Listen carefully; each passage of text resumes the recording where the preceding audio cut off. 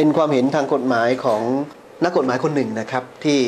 ตรวจสอบเอกสารแล้วก็ได้สอบถามข้อเท็จจริง จากคนที่ดำเนินการอขออนุญาตแล้วก็คือคุณสันติมัสโอดีแล้วนะครับ โดยได้ไปยื่นที่สำนักงานเทศบาลตำบลปากคาด แล้วก็อนุญาตให้คณะผู้จัดสร้างอาคารมัสยิดอัสโซบีรีนเนี่ยทำการก่อสร้างอาคารได้ แต่ปรากฏว่าเมื่ออมีการก่อสร้างอาคารไปได้สักระยะหนึ่งนะครับ ทาง เทศบาลตำบลปากคาดนะครับได้มีหนังสือลงวันที่ 8 กันยายน 2555 นะครับว่าเรื่องให้ยกเลิกคำสั่ง ยกเลิกคำสั่งนี่คือคำสั่งให้ ก่อสร้างอาคารมัสยิดนะครับ ด้วยเหตุที่ว่าการยื่นแบบเพื่อขอสร้างอาคารเนี่ยยังไม่ได้แนบคำสั่งความเห็นของคณะกรรมการอิสลามแห่งประเทศไทย เพื่ออนุญาตให้สร้างและจัดตั้งมัสยิดนะครับ คุณสติมัสูดีซึ่งเป็นผู้ยื่นคำขอเนี่ยก็ต้องระงับการก่อสร้างไว้ชั่วคราว หลังจากนั้นเนี่ยผู้ดำเนินการก่อสร้างมัสยิดก็ไปยื่นคำขอเพื่อสร้าง มัสยิดและจัดตั้งมัสยิดนะครับตามแบบบอหนึ่งออกตามกฎกระทรวงฉบับที่2นะครับในคำขอเนี่ยก็จะจะให้เราขีดเครื่องหมายนะครับ ระบุเครื่องหมายว่าเราต้องการขออะไร ในแบบคำขอก็ระบุชัดเจนนะครับว่าขอสร้างและจัดตั้งมัสยิดเลย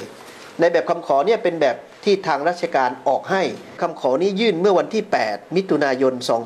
2539 คณะกรรมการอิสลามแห่งประเทศไทยก็มีการประชุมครั้งเมื่อวันที่ 25 กรกฎาคม 2559 ครั้งที่ 7 ทับ2509มีมตินะครับ มีมติพิจารณาให้ความเห็นชอบจัดตั้งมัสยิดอันโซบิรีน จังหวัดบึงกาฬหลังจากนั้นคณะกรรมการอิสลามแห่งประเทศไทย จึงได้ส่งหนังสือไปยังผู้ว่าราชการจังหวัดนะครับ เพื่อแจ้งผลการพิจารณาให้มีการสร้างและจัดตั้งมัสยิดอันโซบิรีน ผู้ว่าราชการจังหวัดได้พิจารณาแล้วคืออนุมัติให้มีการจัดตั้ง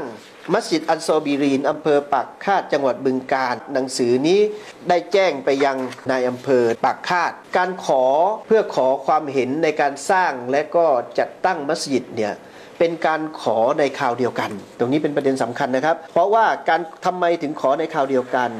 เพราะแบบตามแบบบอหนึ่งเนี่ยเป็นแบบที่ที่แนบมาพร้อมกับกฎกระทรวงนะครับ ออกตามความในพระราชบัญญัติ การบริหารองค์กรศาสนาอิสลามพศ 2540 กฎกระทรวงออกเมื่อพศ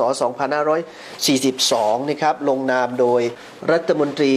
ช่วยว่าการกระทรวงมหาดไทยณขณะนั้นนะครับ คือท่านชำนิศักดิเศษลงนามไว้นะครับ แล้วก็ได้กำหนดแบบคำขอ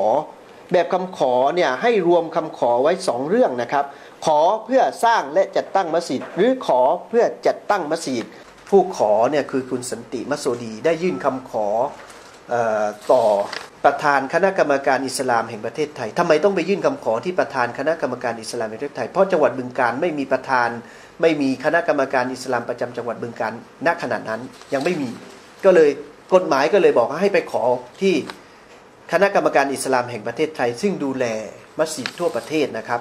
ในยื่นคำขอขนาดนั้นก็เมื่อวันที่ 9 มิถุนายน 2559 ยื่นคำขอแนบเอกสารครบถ้วนนะครับ หลังจากนั้นเมื่อ คณะกรรมการพิจารณาแล้วเนี่ยเห็นชอบอนุมัติให้มีการสร้างและจัดตั้งนะครับ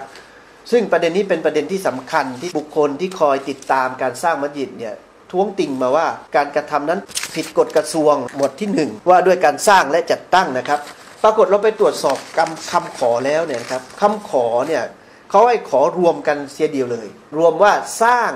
และจัดตั้งมัสยิด นั้นกรณีของมัสยิดอัสซบีรีน การขอสร้างและจัดตั้งเนี่ย ขอไปคราวเดียวกันไม่ผิดครับ